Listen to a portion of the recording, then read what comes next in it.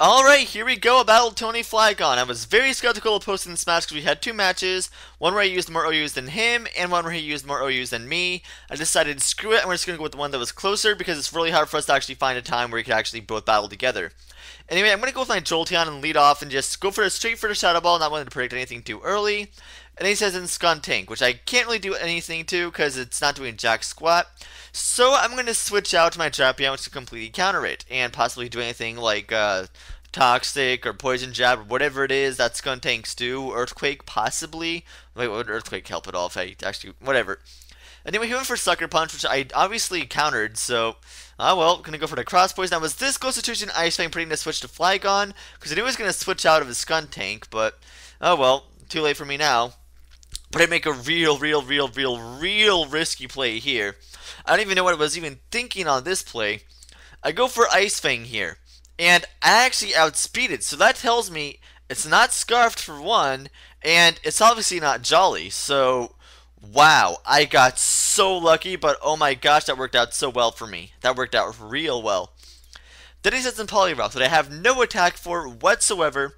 I'm going to switch into Jolteon, which could easily counter it. Any problem, no problem. Well, unless it has, like, Dynamic Punch or Sub-Belly Drum, in which case it might prove kind of, you know, bad.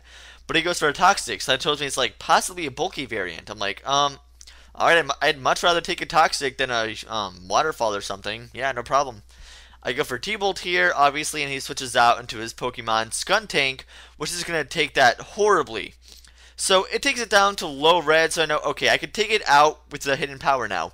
Although I'm losing health for my poison, my po toxic, so that's kind of bad. Hidden power is going to do a, not enough. I actually thought with my TV that I actually survived that because I thought I saw a little small sliver of red. No, that was just my TV being weird. Then it says in Magcargo. Okay, you've got to have a lot of balls to send this thing in. I mean, it's a Magcargo. Come on. But whatever, he's trying to pull one off. He goes to recover and completely absorbs my Thunderbolt, like, greatly. So, obviously I can't do anything to it, and I just wasted a turn, and now I'm going down more in Toxic Health. So, and what can you do? I'm going to switch out to Rampardos, my which could easily counter this Rampardos, easily counter this Magcargo because it's awesome. It's Rampardos and it's Beast. It can destroy anything with Head Smash. So it's exactly what I'm going to go for. I'm going to go for the Head Smash. Now, I might have possibly gone for Earthquake to be a better move, but nah. He has a Poliwrath. Now, check this out. Head Smash doesn't even do a third to this guy. So like, holy crap, this thing is bulky.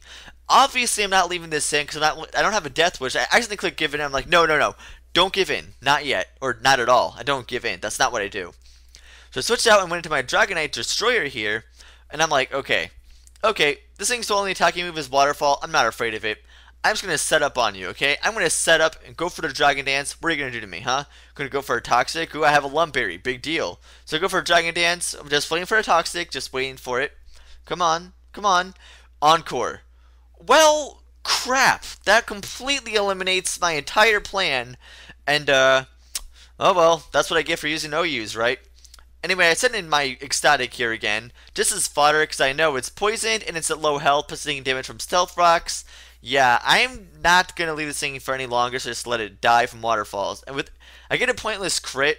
I mean, maybe in it. Nope, nope. That was that was definitely pointless to the max. Whatever. I sent in Patches here because Patches is so cute. Look how happy Patches is. Ah, it's so happy. Everyone loves Patches. I mean, they say whoever looks at whoever looks at a Togekiss is always happy. Except in the Pokemon Meta game where it's the exact opposite. Anyway, I'm just going to go straight for the T-Wave, predicting the switch, and he does. He sends in Magcargo, which is pointless because it's already slow as crap to begin with. So, oh well, at least has a chance to not attack, maybe? Eh, whatever. I sent in my Poly, I sent in my, no, Poliwrath, yeah, that's what it is. I sent in my Dragonite here, but he gets paralyzed. I'm like, ah, that kind of, that might have actually changed the game a bit. I don't know. I go for the Earthquake here. Super effective, obviously. Four times super effective. That's going to kill it, no problem, because Magcargo's defense is absolutely atrocious. So then he sends in Rotom, which I can't outspeed, and I can't use Extreme Speed, obviously, because this Ghost. I'm like, uh, Dragon Claw? Nope, Thunderbolt, gonna kill me. Meh, whatever. I deserve that, I guess. So Destroyer got destroyed there, I'm to have to send it out and send in my Pinpoint here, which is just the ultimate counter to this Rotom here. It's like, alright, come on, Come on. I have Sniper. I'm super effective. What are you to do to me? What are you to do to me? Switch out, which you probably do. Whoops. I go for Night Slash, which might still pull off a crit against Poliwrath. Okay. Okay. I have Sniper. I don't have any boosty move to use my my critical hit ratio, but I still have a chance because I have Sniper and it's to make super powerful crits. Come on. That's what you're supposed to do. Cross poison. Come on. Go for it. Go for the crit. Go for the crit. Lol, lol, lol. Banking on crits. Lol, you fail. Whatever. I don't care. Waterfall isn't to kill me because I train this thing someone in defense. I think it's like full speed, half defense, half HP for the remaining EVs or something like that. Although kind of pointless because I have low HP to begin with. Anyway, I go for Cross Poison here again, hoping for a crit or at least to do damage. It does damage, but it's not a crit, but I, I could deal with that. Obviously, it's going to kill me off with Waterfall. If it didn't, well, my game would be glitched. And I'm pretty sure I don't have a glitched game. Well, technically, my girlfriend would have a glitched game for the fact that, you know, it's her game that I stole. Um, I'll, yeah, I, I no, no, I just, I just stole it from her. Anyway, set in patches here, my Togekiss again, which is obviously going to go straight for the Air Slash, or no, I go for a Roost here, and I was hoping it didn't have the fighting move. Like, okay, I hope it doesn't have the fighting move. I'm going to go for a Roost. Okay, come on. He goes for the Toxic, which is a good play on his part, because now I can't stall. Although I don't really like stalling too much to begin with, because I think stalling to, uh, past to, to, stalling to a degree is extremely boring. If you stall for a couple turns, that's fine. If you stall for like, you know, 40 turns, seriously, just, I don't even deal with that crap. I usually just say, okay, one, one runs is getting nowhere. Anyway, his Poliwrath goes down, and my Togekiss is at good health, so now he has his Rotom left, which I think could possibly kill me, so I'm not going to actually leave this in. I mean, that would be Death Wishing right there, complete Death Wish.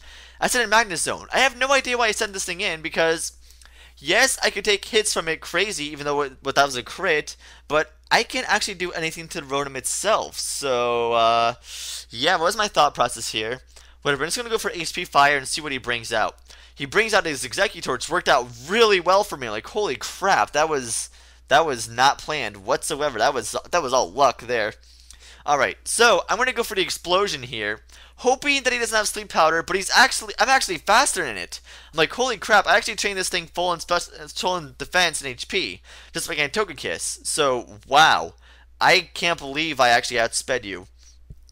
Either way, this Exeggutor has a little sliver of health left, so I'm going to send in Yoshi to finish it off with a head smash, because that's what Yoshi does, because Yoshi is just awesome, and it's, you know, it's just the way it is. I mean, look how awesome it looks. Look how awesome it's ready. It's just ready to head smash everything in its face and its path, ready to wreck everything up. So Exeggutor goes down with a crit. I mean, that's completely overkill, but that's what Yoshi does, because Yoshi is awesome. It's like, yeah, I don't care. Yeah, I pull off a crit against a useless move, but you know what?